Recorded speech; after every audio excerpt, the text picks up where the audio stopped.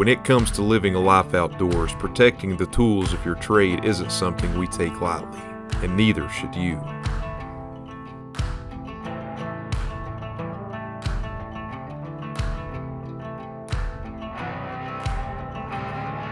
We believe the things that you work hard for and those things that bring your family joy should be protected.